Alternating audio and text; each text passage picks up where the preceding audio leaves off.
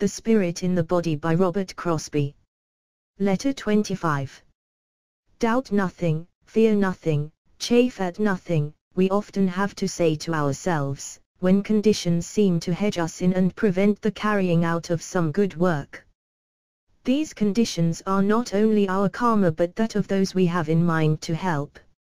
Yet we must strive for them, the best we can, to lift their karma and ours. Sometimes it may seem as if everything conspired to laugh at us and deride our best efforts, but we know all that is but the dead weight of the world's conditions which the masters, and those who have volunteered, are working continuously to lift, and we feel the assurance which comes from understanding that none of this struggle is in vain. Masters do all that is possible for them to do, we strive to follow their example in doing their work in this world of conditioned existence, each in his place, the knowledge that it is their work, and what should be done, sustains us. What matters it, then, what kind of conditions confront us? Nothing has yet stopped us, although at times it has seemed that we could go no further, and we are constrained to see that nothing can stop us, not life nor death nor any other thing. So we cheerfully go on to the end of ends, with our lives and all that they contain, that all may live, following the footsteps of those great ones who have trodden the path before us.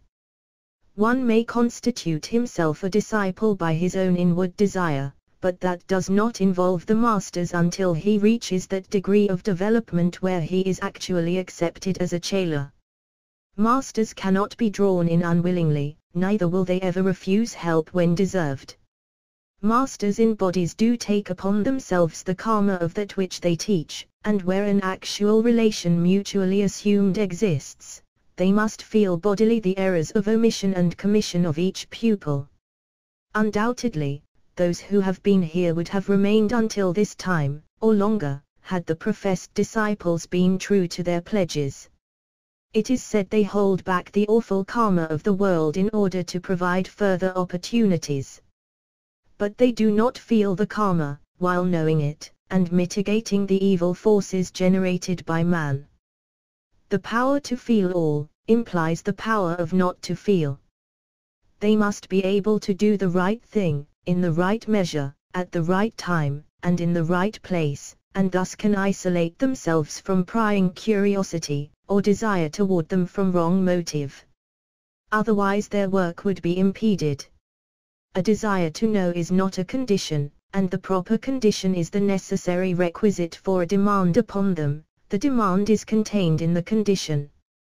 In their message to the Western world, they have shown how they may be reached, even publicly, in every possible way.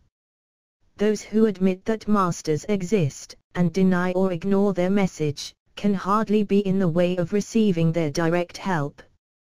Yet help is accorded to all in a general way, each raising the self by the self until the requisite condition of notice or demand exists. None can be shut out, the welfare of all is desired. Yet there must be indirect ways, and the direct way.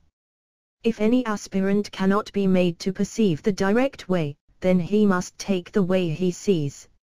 His inability to see bespeaks his karma, his condition, so also, the fact of not having had the message brought forcibly to him bespeaks former opportunities deliberately turned aside or neglected, a karma numerously incurred during the past 30 odd years.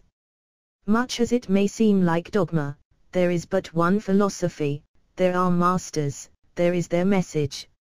It is not dogma because it is a statement of fact, which each is invited to prove for himself, and shown how to do it. True knowledge has been lost to the world, the masters restore it. They help those directly whom they can, those so helped help others directly and indirectly. The cycle has an upward, less material, tendency, it needs right direction, which the direct and indirect influence of the message provides. Blessed are those who are able to perceive and take the direct way. You are quite right, I think, in your deductions regarding repetitions. They are, in the case of my talks, repetitions, only, most do not see what is in them. there is nothing new under the sun, there is only a handing on of what has been known before. As the synthesis of the philosophy can be given in a very few words comparatively, those who make only one application of the words, see only one color of the prism, hear only one sound of the scale, naturally get the monotony of it. I think the main obstacle in the way of some is an attitude of criticism, such as, for instance, is taken in saying, his interpretation does not agree with mine, or anything, in fact, that considers the person, rather than the meaning. Our last meeting was a good one. One questioner asked, why is it that theosophists are so passive to political and social conditions? My reply was, no true theosophist is passive to anything, his knowledge, however, shows him where his energy can be best used for the benefit of humanity.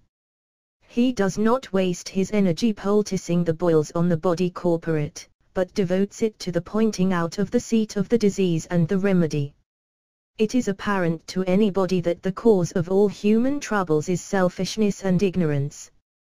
The ignorance, which is the cause of the selfishness, lies in men's way of thinking, their ideas in regard to life. The prevailing idea is that there is but one life, and that each must struggle for himself as against all others. The very idea contains in it fight, opposition, his hand against every man and every man's hand against him. As long as these ideas prevail in men's minds, they will act selfishly and in opposition, where self-interest is concerned. The theosophist knows what the true way is, that man lives many lives, and that in each life he reaps what he sowed in other lives, as well as in this one, that if every man were to have this knowledge, he would see that true happiness for all can be obtained only when each human being uses all his powers for the good of others. Under such a way of thinking, no man would be allowed to suffer for one moment, because there would be many willing hands to help on every side. The greatest need, then, is to have a right and true philosophy of life, for the following of it will not only bring relief from the many forms of suffering, but a knowledge that will lead humanity to greater heights. The theosophist works to relieve the cause in the only way possible. Doubtless, if theosophists were more numerous, they would be found relieving every possible distress to the best of their ability, but, unfortunately for the world, they are few, and are thus compelled to put all their energy into calling attention to the true nature of man, and to a philosophy of life, so that more and more minds may be turned that way, and the day of relief brought nearer.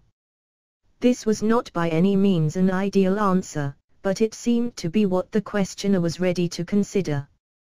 With regard to metaphysics and physics, metaphysics is beyond physics and must have preceded the latter. It seems to me that metaphysics becomes physics by ideation on the plane of physical density. To the perceiver on any plane, perceptions are objective to him, on a higher plane than this, would they not be his physics, although metaphysical to us? From our plane, that which is metaphysical becomes physical when embodied. Perhaps I do not get what you want, if there is nothing here, come again,